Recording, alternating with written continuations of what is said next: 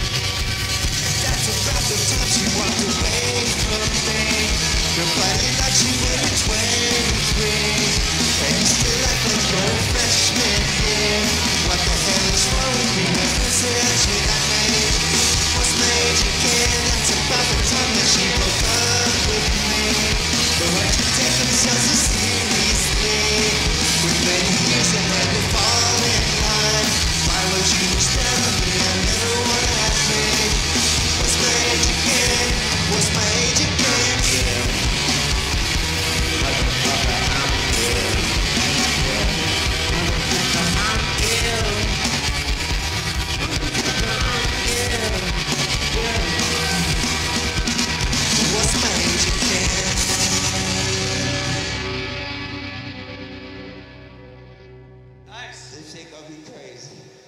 Fucking killer. Nice. This shit gonna be crazy. Fucking killer.